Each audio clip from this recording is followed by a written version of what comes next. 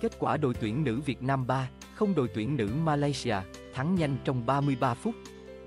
Trước một đội tuyển nữ Malaysia bị đánh giá thấp hơn nhiều, không ngạc nhiên khi đội tuyển nữ Việt Nam đã có chiến thắng dễ dàng với cách biệt lớn, qua đó có khởi đầu thuận lợi trong hành trình bảo vệ huy chương vàng SEA Games.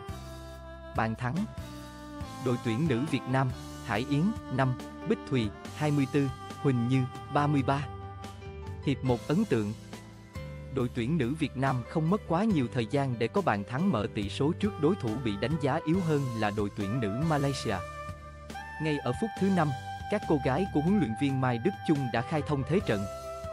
Từ đường truyền bên cánh phải của đồng đội ra rìa ngoài vòng cấm. Hải Yến tung cú sút xa, đưa bóng đi liền về góc cao cầu môn không cho thủ môn Malaysia có cơ hội cản phá. Sau bàn thắng sớm, đội tuyển nữ Việt Nam tấn công dồn dập. Phút 16, Mỹ Anh băng vào vòng cấm địa tung cú sút vượt tầm với thủ môn Malaysia nhưng bóng đội xa. Sau đó, Hải Yến lao vào đá bồi nhưng bị thủ môn Malaysia phá rang gây trước vạch vôi. 3 phút sau, bóng lại tìm đến khung gỗ Malaysia. Từ đường truyền bên cánh phải của đồng đội đưa bóng vào vòng cấm, Huỳnh Như truyền ngược ra làm trường cho Hải Yến dứt điểm đưa bóng trúng mép ngoài cột dọc. Phút 24, bàn thắng thứ hai đến với đội tuyển nữ Việt Nam. Huỳnh Như chọc khe cực ngọt để Bích Thùy băng vào sát vòng 5m50 trước khi sút chéo góc tung lưới Malaysia. Chưa dừng lại ở đó, đến phút 33, tỷ số đã là 3, không cho đội tuyển nữ Việt Nam. Huỳnh Như nhận bóng ở sát đường biên ngang. Cô treo bóng vào trong và vô tình bóng trúng người hậu vệ Malaysia đổi hướng đi vào cầu môn, trong sự bất ngờ của thủ thành đội bạn. Giữ sức cho trận kế tiếp. Sang hiệp 2, đội tuyển nữ Việt Nam có hai sự thay đổi người. Một trong số đó là Thanh Nhã. 3 phút sau khi có mặt trên sân, cầu thủ này suýt ghi bàn. Cô tung cú dứt điểm cực căng đưa bóng trúng chân hậu vệ Malaysia rồi đập xà ngang làm rung chuyển khung gỗ đối thủ. Tuy nhiên cũng từ thời điểm này, đội tuyển nữ Việt Nam bắt đầu chủ động chơi chậm lại.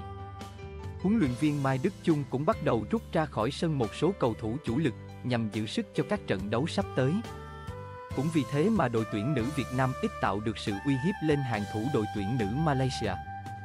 Thậm chí, trong một tình huống bất cẩn, các cầu thủ đội tuyển nữ Việt Nam suýt chút nữa phải nhận bàn thua ở phút 76, khi tiền đạo Soberi đoạt được bóng trong chân hậu vệ đội tuyển nữ Việt Nam và thực hiện pha đặt lòng đưa bóng chệch cột dọc. Đến phút 83, Thanh Nhã từ cánh phải treo bóng vào trong vòng cấm địa. Vũ Thị Hoa nhảy lên tranh bóng với thủ môn Malaysia. Trước khi Huỳnh Như tận dụng thời cơ dứt điểm đưa bóng vào gôn trống, Tuy nhiên trọng tài đã không công nhận bàn thắng của đội tuyển nữ Việt Nam khi cho rằng Vũ Thị Hoa đã phạm lỗi với thủ thành Malaysia trước đó. Khép lại trận đấu với thắng lợi chung cuộc 3, không trước Malaysia, đội tuyển nữ Việt Nam đã hoàn thành mục tiêu có 3 điểm ở trận ra quân. Vào ngày 6 tháng 5, đội tuyển nữ Việt Nam sẽ có trận đấu quan trọng với đội tuyển nữ Myanmar.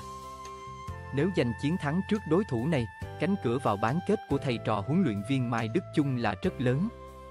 Đội hình thi đấu Đội tuyển nữ Việt Nam, Khổng Thị Hằng, Huỳnh Như, Hải Linh, Hoàng Thị Loan Thúy Nga, Hải Yến, Vũ Thị Hoa 69, Bích Thùy, Thanh Nhã 46, Dương Thị Vân, Thái Thị Thảo 46, Thu Thảo, Thùy Trang 69, Mỹ Anh, Vạn Sự 52.